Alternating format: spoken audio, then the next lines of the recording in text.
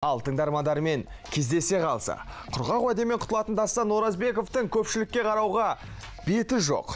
Ордалық әнші әр сұхбатында бейнебаян түсіретінін айтқанымен сөзінде тұрмай келген екен. Осы уақытқа дейін сертінен тайқып жүрген сері енді іске көшіпті. көк жаңбыр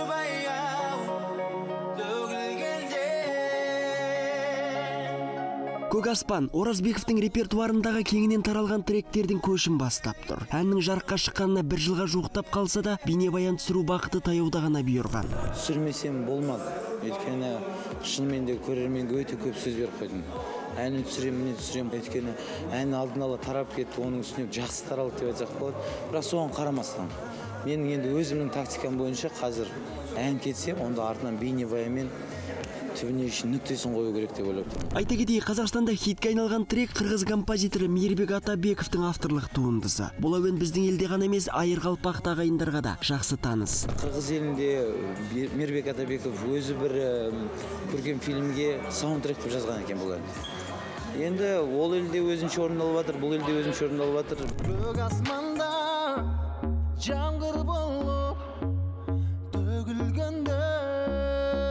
Түсірілім тобы Көк аспан клипінің қазақша нұсқасына тұшымды ойларды тоғыстырған. Дастан тың туындысы арқылы өмірде тосыннан болған тосқауылдарға төтеп бере білуге үгіттейді.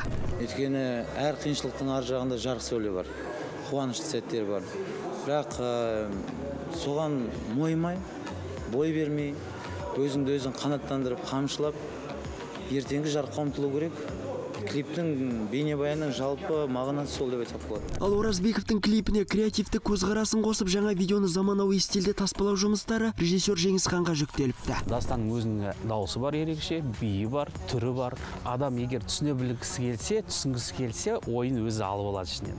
Бірақ енді көп нәрсені өзінің биіне әніне түріне берді. Сондықтан енді клип кішкене ерекше болады енді Бейнебаянның түсірілім жұмыстары әлі екі күнге жалғасады. Дастанның фанаттары тағатсына күткен клип келер айдың басында жарыққа шықпақ.